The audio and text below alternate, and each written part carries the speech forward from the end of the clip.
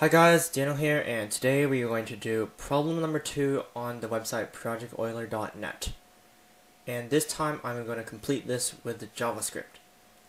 So first, let's look at the problem. Each new term in the Fibonacci sequence is generated by adding the previous two terms. By starting with 1 and 2, the first 10 terms will be 1, 2, 3, 5, 8, 13, and so on. By considering the terms in the Fibonacci sequence, whose values do not exceed 4 million, find the sum of the even value terms. So let's first see what we should do here. Well, we're trying to find the sum of a bunch of numbers. So first, let's create a variable called sum. And let's set it to 0 to initialize it.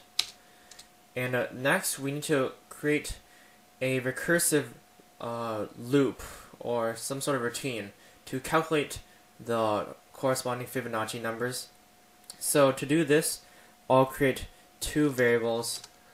Let's just call it a equals 1 and b equals 2.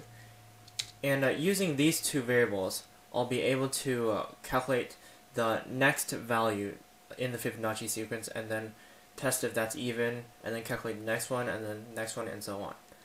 So with these two variable initial variables calculated, let's create the loop now.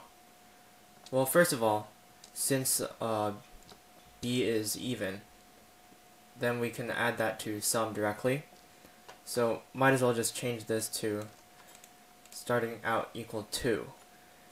So now let's create the loop. While, so in this case, I'll have a always be less than b. So b will go up to the next Fibonacci number, then a will replace b, and then b will go up to the next Fibonacci number, and a will replace b again. So I want b is less than 4 million. And we want to do something in here. So let's actually, actually, let's just test if b is even directly in here. If b, b the remainder when b is div divided by 2 is equal to 0, if that's true, then we add b to sum. So sum plus equals b. Otherwise, we don't do anything. We don't add it to the sum. And after we're done with adding the b to the sum, if it's even, we have to change b to the next Fibonacci number and change a to the previous Fibonacci. So let's see what we should do here. Well, we want to have b equal to uh, a plus b, or just b plus equal to a. And we also want a is equal to b. But we already changed b in this statement to b plus or equal to a, so let's just create a third placeholder variable to store temporarily store the value of b. Uh, I'll just call it, I don't know, temp or something like that. So in this case, we can first let temp equals b, and then we set b to increment it to the next Fibonacci number. Then we set a equals temp, which sets it to the value of b that it originally was. Now, a and b have just moved on to the next Fibonacci number, and now we can test if this Fibonacci number is even again and if it is, we sum it, and then repeat, repeat, and so on like that. And uh, hopefully this code will be able to give us the right answer. And finally, of course, we need to print out whatever the sum is. So let's add that in.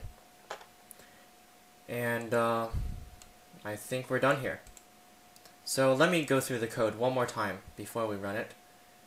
We start with a, a variable called sum, and we initialize it to 0, so we can add stuff to it later. This will be the final answer that we, uh, that we output.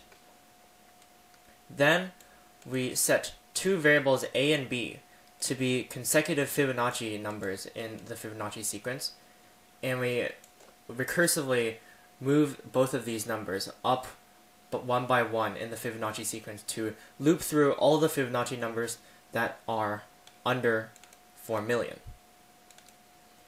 First, when we loop this, we first test if b is an even number, or rather, if b is the remainder when b is divided by 2 is 0. And if this is true, then we add b to the sum. Otherwise, we just don't do anything.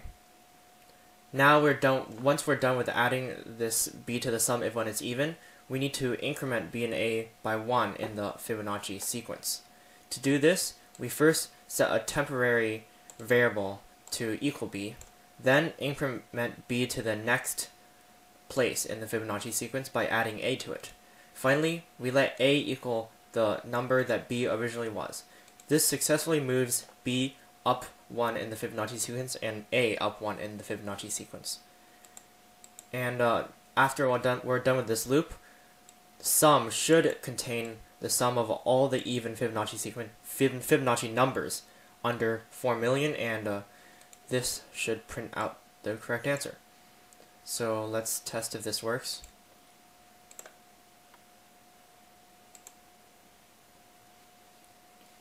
Refresh.